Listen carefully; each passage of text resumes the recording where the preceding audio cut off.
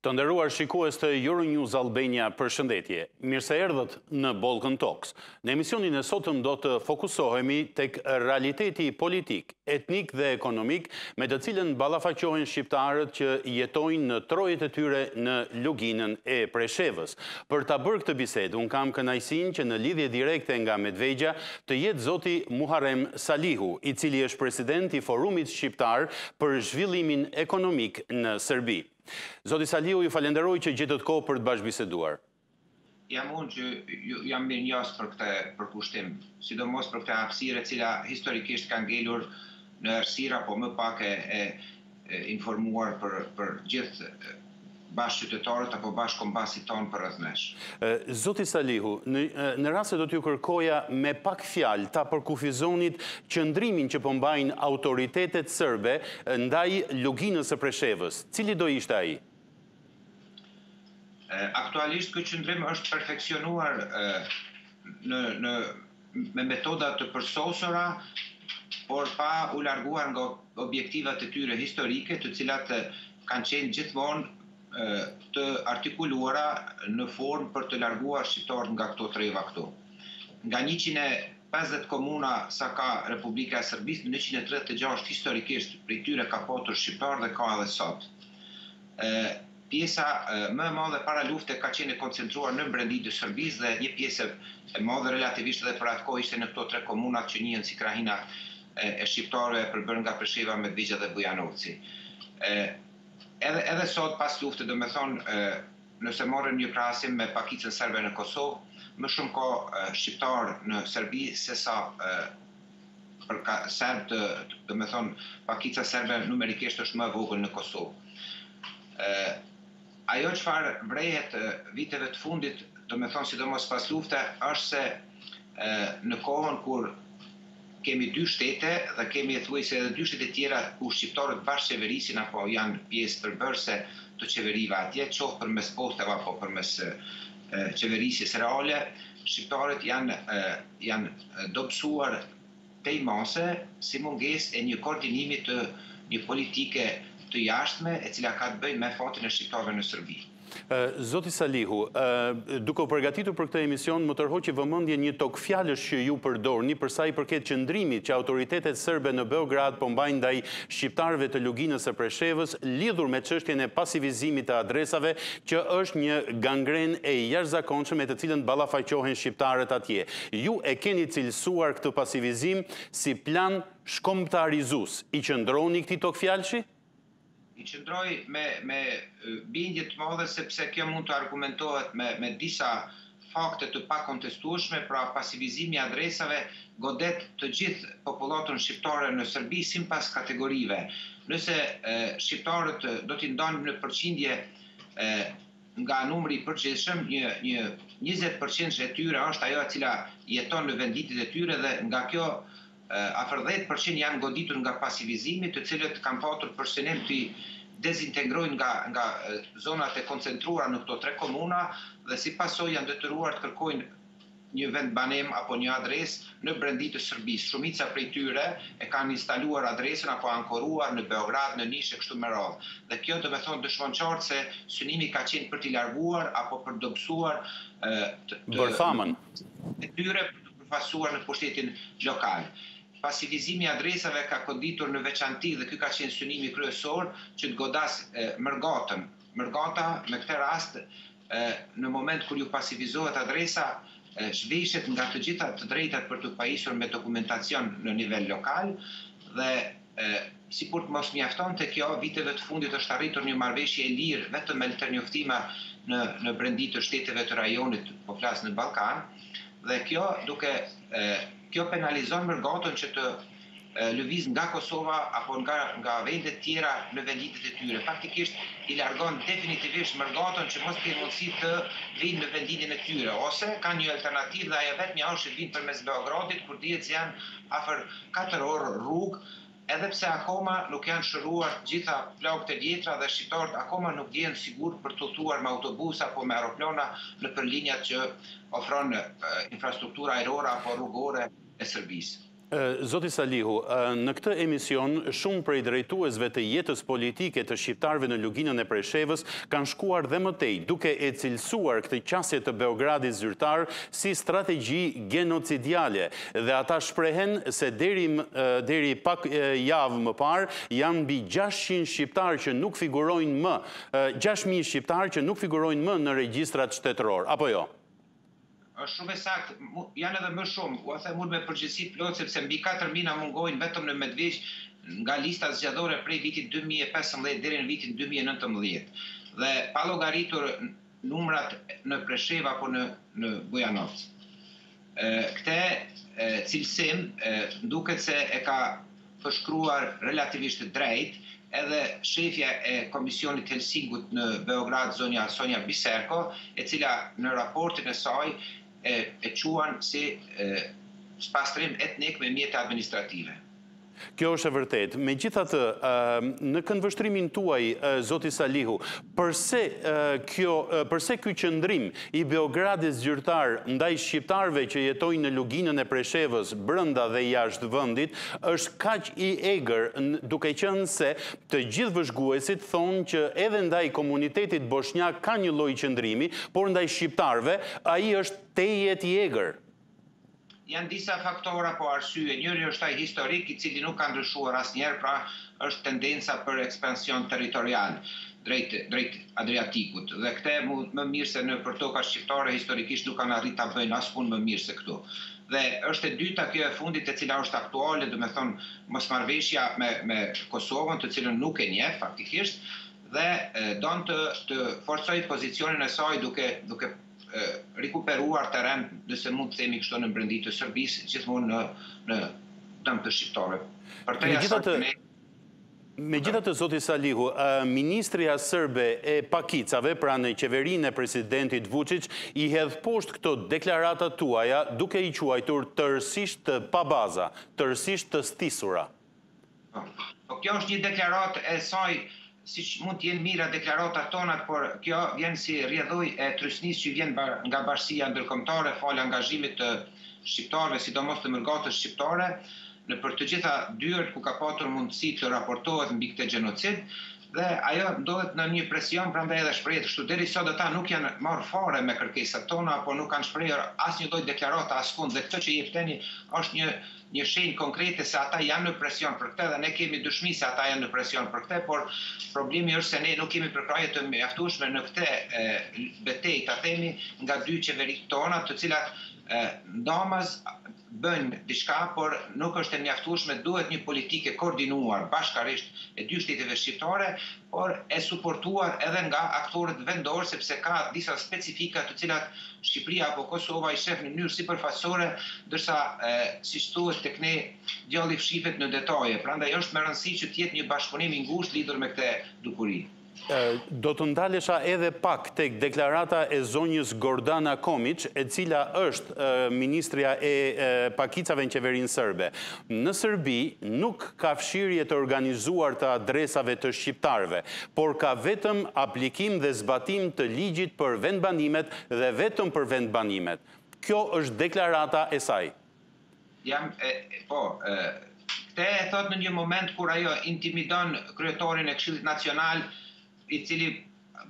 domethënë jo vetëm ai, por e tërë e tërë elita politike ka vite që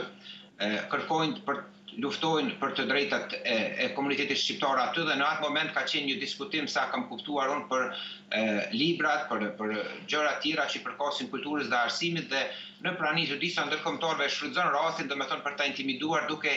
duke e, duke marrë fjalën e tij dhe thotë se ju jeni dakord se këtu nuk ka patur Shkelje nuk ka patur kështu, por ka patur vetëm aplikim të ligjit, gjë që nuk qëndron aspak kjo. E përsëris se, ajo ka qenë nën presionin dhe është sikur ashtu siç është tërë qeveria në Beograd nën presionin e ndërkombëtarëve për këtë çështje, sepse ju e dini se me njëzet e katër janar të këtij viti edhe Parlamenti Evropian e fton me një Po, Europian e, e, e, e citon Sërbinë, do me thonë, e apelon aty, e të mos flasë nëpër, nëpër raporte tjera të cilat nuk janë akoma publike, që Sërbisë i shkojnë vazhdimisht në Beograd për këte dhe ajo duke u ndodhur në prani jo vetëm të politikanëve shqiptarë, por edhe të ndërkombëtarëve provon të, të amortizojë sado pak këto kërkesat tona. Ju e përmendët, zoti Salihu, faktin që po rritet trysnia e faktorit ndërkombëtar ndaj Sërbisë lidhur me qëndrimin jo vetëm të pasivizimit të adresave të shqiptarëve, por edhe trajtimin ekonomik dhe multidimensional të shqiptarëve që jetojnë në tokën e tyre në Luginën e Preshevës. Megjithatë, doja t'ju pyesja, A është i mjaftueshëm ky presion ndërkombëtar ndaj autoriteteve sërbe dhe a po shihni ju rezultatet e para, duke qenë se edhe vetë Këshilli i Europës pretendoi në një moment që do dërgojë një komision faktmbledhës për të shqyrtuar nga afër problematikën në Luginën e Preshevës? Nuk është e mjaftueshme, absolutisht nuk është e mjaftueshme. Ne nuk jemi, siç e thashë, nuk jemi të suportuar aq sa duhet nga nga qeveritë, nga ministritë e jashtme, gjë që do të duhej ta bënin këto për ne dhe mendoj se këtu qëndron edhe gabimi kryesor, sidomos nga ana e Kosovës e cila për dekada me radhë nuk e përdori fatin apo tragjedinë e shqiptarëve në Sërbi si një pikë mbështetje për ta për ta për t'i baraspeshuar kërkesat e Serbisë, por në anën tjetër nëse shofim këtë problem edhe në në një rrafsh më të gjerë, mendoj se brezi kufitar i banuar me shqiptarë në brendi të Serbisë është edhe një element sigurie për vetë Kosovën apo për tërë hapësirën tonë kombëtare, prandaj nuk është bërë sa duhet dhe mendoj se tani është momenti i fundit kur duhet të angazhohemi në këtë. Unë kam propozuar, bile edhe dje pata një takim me me një komision në senat me drejtuesen e komisionit në senat për pakica këtu sepse këtu këto tregime i bëjnë edhe shtete tjera nëpër botë gjëra të ngjajshme dhe kërkesa jonë është decidive ne kërkojmë një moratorium të këtij ligji të cilin ata e kanë miratuar enkas për ta aplikuar në trevat tona së paku për 10 vite dhe të shofim pastaj në mënyrë që të kërkojmë mjete për t'i kthyer njerëzit aty të cilët janë penguar vazhdimisht përtej iniciativave individuale të cilët kanë tentuar të kthehen, sidomos në Medvegjë. Serbia ka përfituar afër pesëqind e tetëdhjetë e dy milionë nga bashkësia ndërkombëtare për të sistemuar të shpërngulurit e mbrendshëm siç po quhen tani në Ballkan, edhe pse vetë ka qenë iniciatore kryesisht e gjithë atyre luftrave dhe nga këto nuk kanë përfituar shqiptarët, sidomos në Medvegjë nuk kanë penguar fare, nuk kanë përfituar fare, përkundrazi janë penguar të gjithë ata të cilët kanë insistuar në mënyrë individuale të kthehen, u mungojnë rrugët, u mungon rrjeti elektrik i cili në vitet e shtatëdhjeta është ndërtuar me vetëkontributin e prindëve tanë dhe sot u kanë u kanë u kanë shkëputur nga nga rrjeti, domethënë dhe refuzojnë për t'i kyçur me faktin me pretekstin se nuk keni dokumenta, nuk jeni këtu. Problemi tjetër se po shfrytëzoj kohën ju lutem të them edhe një gjë më shumë me rëndësi, problemi tjetër i cili është në horizont dhe afër për të na goditur është ekspropriimi i pronave tona sepse ne nuk kemi mundësi të dëshmojmë se jemi trashëgimtarë të pronave të cilat i trashëgojmë brez pas brezi. Ata na njofin mirë dhe e dinë se janë tonat por ne nuk mund t'i dështojmë si mungesë e dokumentacionit personal i cili është mohuar në momentin kur u është rrëmbyer apo vjedhur adresa e vendbanimit. Po, zoti Salihu, duket sikur ju keni një mllef ndaj mënyrës se si dy qeveritë shqiptare në Prishtinë dhe në Tiranë reagojnë ndaj fatit me të cilën ballafaqoheni ju në Luginën e Preshevës. T'i marrim të ndara. Qeverinë e Kosovës përse e akuzoni si të paangazhuar mjaftueshmërisht për të zgjidhur problematikat tuaja?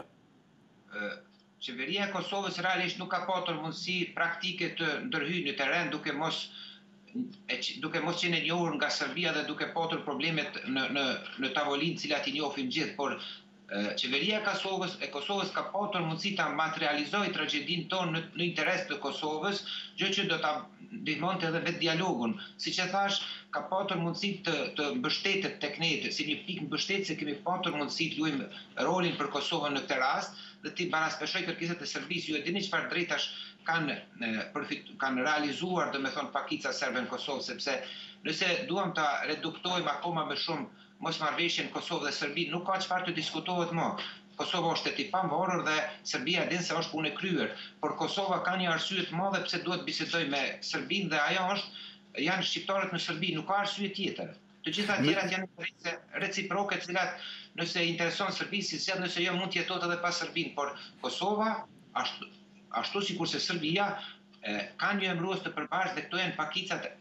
respektive në të dy vendet të cilat duhet t'i ulin në tavolinë dhe të bisedojnë për këtë. Ju personalisht zoti Salihu, por edhe liderët e tjerë të partive politike bëjnë takime intensive në Prishtinë me drejtuesit e procesit të dialogut, përfshirë këtu zotin Kurti apo zotin Bislimi, a keni marrë premtime konkrete dhe ndoshta më shumë se sa premtime, se problemet me të cilat ju ballafaqoheni do të shtrohet në tryezë, pasi ju me të drejtë thoni që po kërkohet maksimumi i mundshëm për serbët në Kosovë, ndërkohë që diskriminimi, ju përdorni fjalë të tilla si genocid apo spastrim etnik në tek shqiptarët në Luginën e Preshevës. Po në praktikë kështu janë këto ne mund t'i t'i konvertojmë apo t'i shprehim edhe me me sinonime tjera por praktikisht është gjenocid t'i vidhet dokumenti apo personit shikoni e, ato kanë qasje domethonë keqpërdorin të dhonat personale të lëvizjes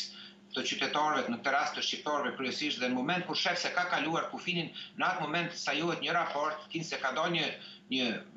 Një patrullë e policisë ka verifikuar gjendjen dhe ka konstatuar se nuk ekziston X-i apo Y-i në shtëpinë e tij. Në atë ditë i mirren gjitha drejtat njeriut dhe ai ka tetë ditë afat, gjë që nuk din fare për këtë, pas tetë ditëve ai ndodhet i zhveshur, prandaj si mund të jetë përveçse gjenocid? Si mund ta ta artikulojmë një gjë këtë? Jo, dakord, megjithatë, çfarë premtimi keni marrë nga zoti Kurti si kryeministër dhe përgjegjësi kryesor për dialogun apo dhe nga zoti Bislimi i cili është numri dy i negociatave në Bruksel? Tani, e vërtetë është se kjo qeveri nuk është se ka dhe shumë kohë dhe në në tryezë gje, ka gjetë me mijëra probleme të grumbulluara, një ndër to është edhe problemi i shqiptarëve në Serbi. Kemi simptome se, e, domethënë sinjale se do të do të mirret në mënyrë adekuate me problemin, por gjëra konkreta akoma nuk kemi. Kemi Nuk mund të themi nuk kemi sepse, për shembull, në Kombet e Bashkuara,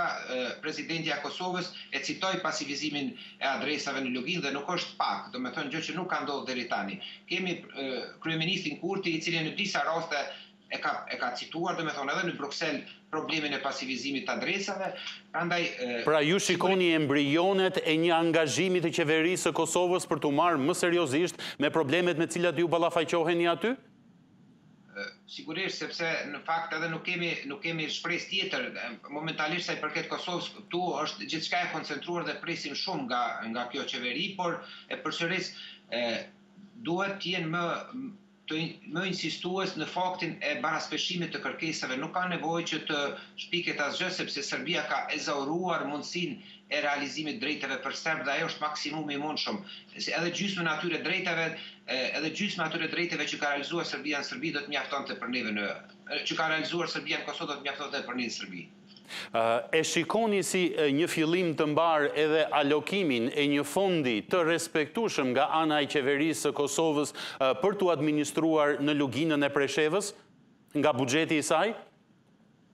Sigurisht se ky veprim meriton të përshëndetet dhe është shpresëdhënës për gjithë shqiptarët në Serbi. E them gjithë shqiptarët në Serbi sepse shqiptarët nga Lugina janë duke u dekoncentruar sepse po imponohet një dekoncentrim i tillë për të marrë adresa në brendinë e Serbisë dhe një numër i madh tani janë shpërndarë në brendi të Serbisë. Por duhet të kemi kujdes sepse zakonisht kur kur alokohen fonde, tendenca është për të rritur subjektet politike, gjë që historikisht ka qenë e suportuar edhe nga politika qendrore në Beograd, për t'i përdorur më pastaj më lehtësisht ato, sidomos në Preshevë dhe Bujanoc ekzistojnë mbi dhjetë subjekte të ndryshme politike, ndërkohë që në Medvegjë historikisht është penguar krijimi i një subjekti dhe sot akoma nuk ekziston një subjekt i tillë, prandaj duhet të jemi të kujdesshëm që në një koordinim mes dy qeverive, siç e thashë në fillim, të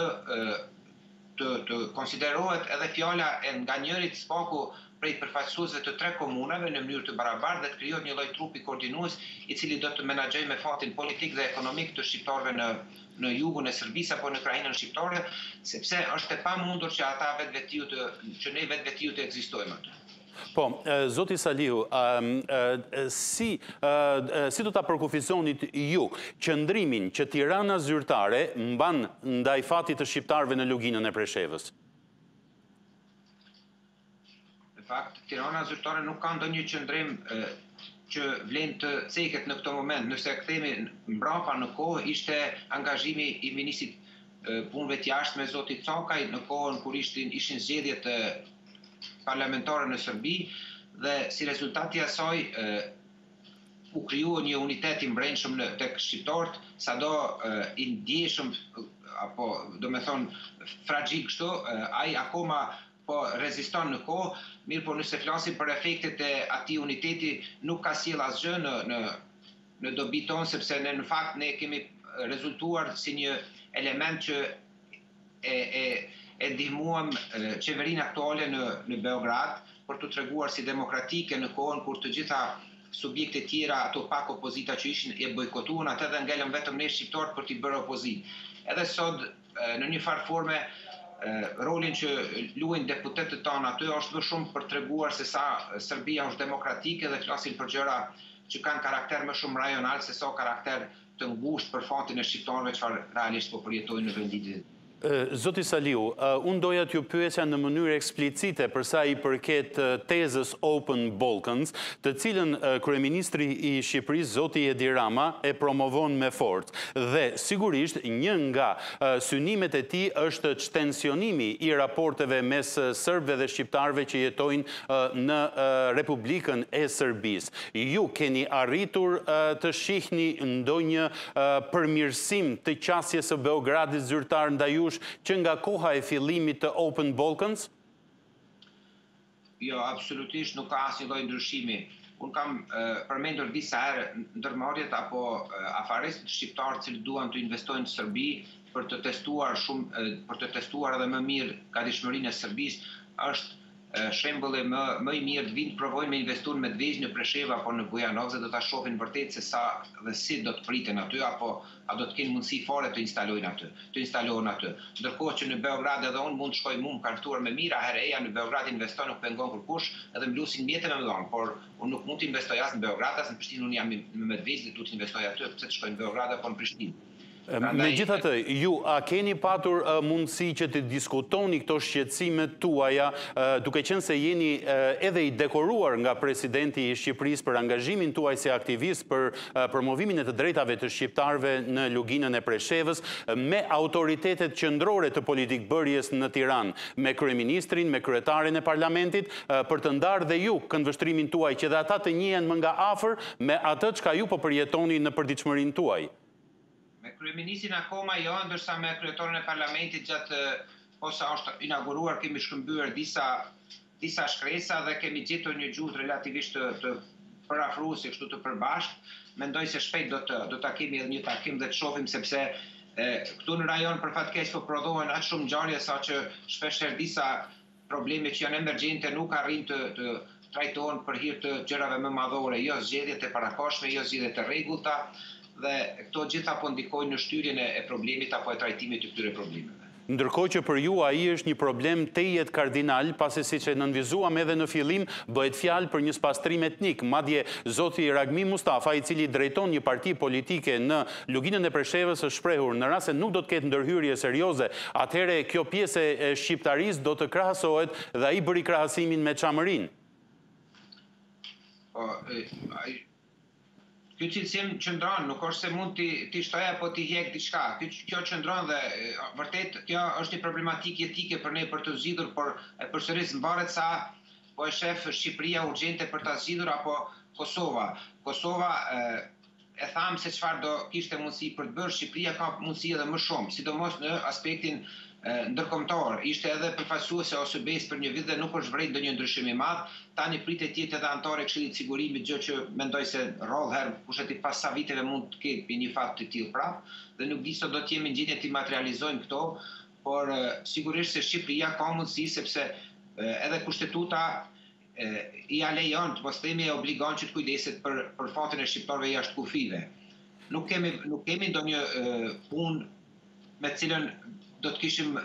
për çfarë të mburrur sinqerisht, nuk është nuk është se jemi duke përfituar apo duke përjetuar ndonjë suport konkret nga qeveria shqiptare. Zoti Salihu,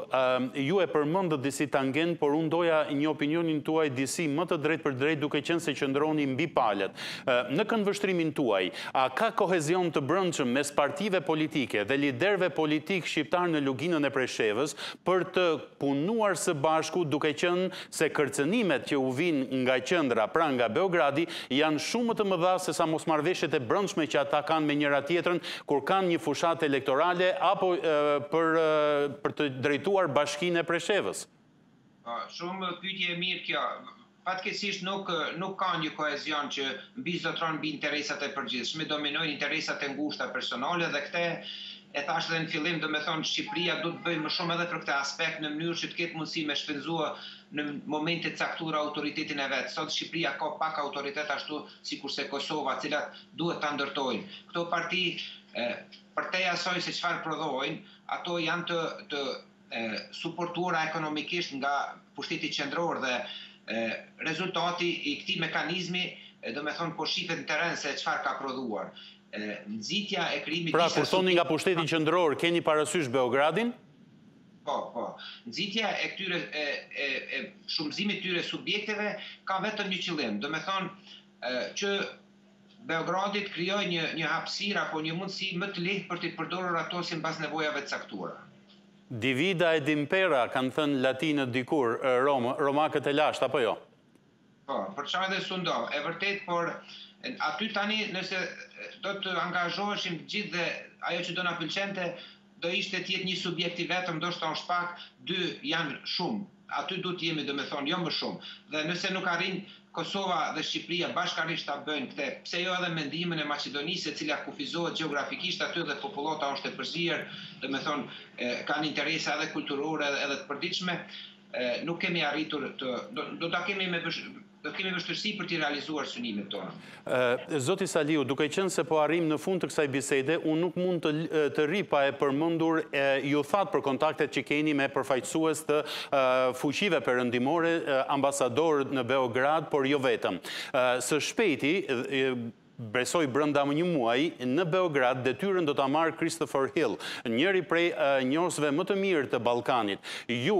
keni shpresë që në takimet me të do të mund të gjeni një njeri i cili do të dëgjojë dhe do të përpiqet t'ju ndihmojë përsa i përket problematikave me të cilat ju ballafaqoheni në përditshmërinë tuaj? Unë kam shpresë se Shqipëria dhe Kosova së bashku me përfaqësues të shqiptarë këtu në nivel lokal do të krijojnë, do të artikulojnë një kërkesë të qëndrueshme dhe bashkarisht do ta shtyjmë atë, për aq sa na takon neve nga niveli lokal dhe për aq sa ju takon shteteve në nivelin rajonal apo apo kontinental. Pa realizuar këtë, do ta kemi vështirë sepse koha i ka, në në të kaluarën janë provuar të gjitha, domethënë, dhe kur nuk ka patur një koordinim të tillë, asnjëherë nuk kemi arritë të inkasojmë asgjë. Zoti Salihu, ju falenderoj sinqerisht për kohën dhe opinionet që ndatë me shikuesit e Euronews Albania për një temë kaq të ndjeshme për të cilën nuk është se ka shumë opinion të njohur në hapësirat mbarëshqiptare. Ju jam mirënjohës dhe ju falenderoj. Jam unë që ju falënderoj, faleminderit shumë dhe mirudëgjofshim. Faleminderit. Të nderuar shikues të Euronews Albania, ky ishte Balkan Talks për ditën e sotme. Deri në takimin tonë të radhës, nga unë Franko Egro, faleminderit për vëmendjen me të cilën na ndoqët dhe mirutakofshim.